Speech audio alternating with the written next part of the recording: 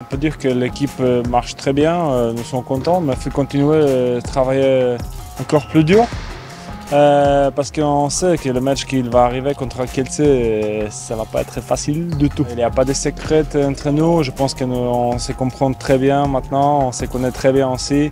Alors euh, il n'y a pas de, pas de secrets, alors ça va jouer dans le détail. Je prends le plaisir euh, en plus pour revenir à Pologne, pour rencontrer des amis. Mais comme je répète toujours, euh, pendant 60 minutes, il n'y a pas des amis euh, dans l'équipe de Kielce. Je trouve que les deux groupes, ils sont, ils sont vraiment intéressants. Euh, le niveau, il est, il est haut cette année. Je pense qu'avec des équipes, ils ont amélioré beaucoup. alors ça va, ça va, ça va être intéressant jusqu'à jusqu'à bout.